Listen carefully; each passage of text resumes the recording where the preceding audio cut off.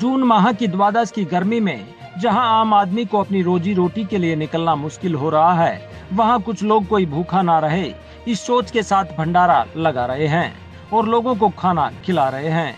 जगत महान न्यूज़ की टीम ने असंद रोड पुल के नीचे भंडारा लगाने वाले जगदम्बा मार्केट के इन समाज सेवी लोगों से बात कर जानने का प्रयास किया कि इनको जनहित के कार्य के लिए कहाँ से प्रेरणा मिली। आज बस ये दवादशी का दिन था जी उससे लगा रहे हैं।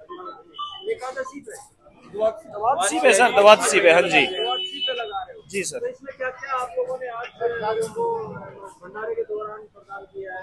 आज सर कढ़ी चावल बना रखे हैं। हाँ। और पानी का रखा है सर। मतलब है है। नहीं यार सर हमारा ये ग्रुप है।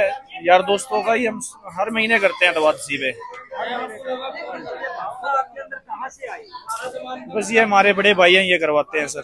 जी बस ऐसी आ गई सब भाइयों के मन में एकदम कि करना चाहिए। दो तीन महीने से कर रहे हैं। भगवान ने चाह और चलता रहे और बड़े बहुत अच्छा महसूस होता है। लोगों की सेवा करके अच्छा महसूस होता है। अपना दिल शांति मिलती है। ये बहुत बढ़िया है।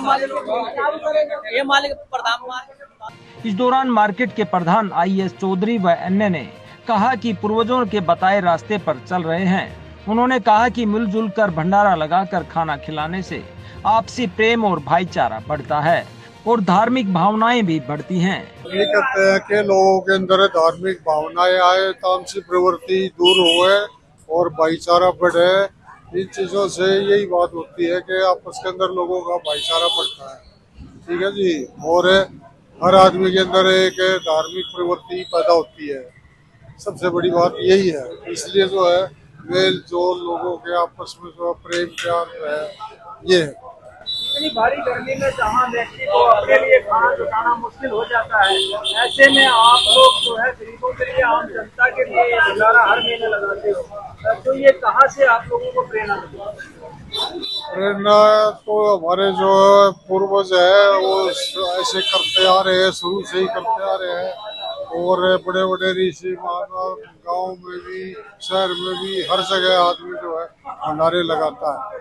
और इन चीज़ों से क्या होता है आदमी के अंदर ये होता है कि भाई देखो आ, ऐसा करने से पुण्य मिलता है। ठीक है जी? पुण्य मिलता है। क्या नाम I S Chaudhary Inder Singh Nandal. Jagat Mahan news के लिए पानीपत से बलवान शर्मा की रिपोर्ट।